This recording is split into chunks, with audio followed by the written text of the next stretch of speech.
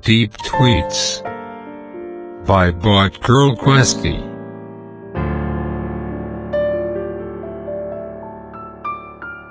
Transparency in the pervasive real name environment means living our digital lives in glass houses with cameras always rolling